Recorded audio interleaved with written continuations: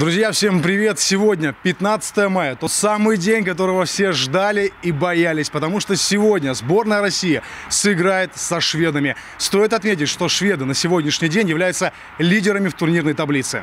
Действительно, шведы не проиграли ни одной игры. Мы, как вы помните, осеклись немного в игре с чехами. Вот что по этому поводу говорят в тренерском штабе. Опытная, быстрая, техничная, организованная команда с, с большим количеством мастеров, как в защите, так и в нападении. Есть люди, кто может исполнить, есть люди, кто и а, в обороне надежно играет. Э, но в первую очередь это движение, это интересная игра в атаке, знаете, как такая есть выражение шведской торпеды, где все участвуют и в атаке, и в обороне.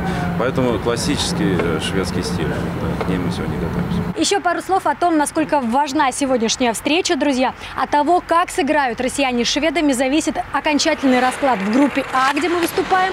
Если наши выигрывают, то вполне возможно они выйдут на первую строчку. И, соответственно, потом в четвертьфинале будут играть э, с наиболее слабым соперником из группы Б. Сегодня, в день игры, первыми на тренировочный лед а, вышла сборная Швеции.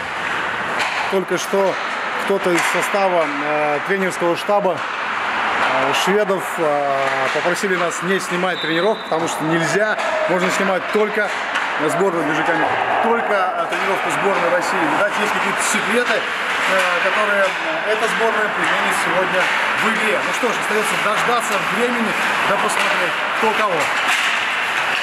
Они переживают за то, что будет снято их большинство. Игра в большинстве, игра в меньшинстве, еще какие-то тактические схемы. Но при этом, э, допустим, нам не запрещено посещать тренировки, и все записывается. Ну, вы все там равно, были, вот. Все записывается, все равно, да, все эти схемы игровые записываются, поэтому, в принципе, ну, я не вижу смысла вот этого запрета, да, снимать на видео э, какие-то игровые схемы. Потому что все равно все будет отражено, и все будет доложено тренерскому штабу. Поэтому игра будет сегодня очень напряженная, интересная. Мы будем следить обязательно. Прямая трансляция на Первом канале в пакете Картина ТВ. Не пропустите.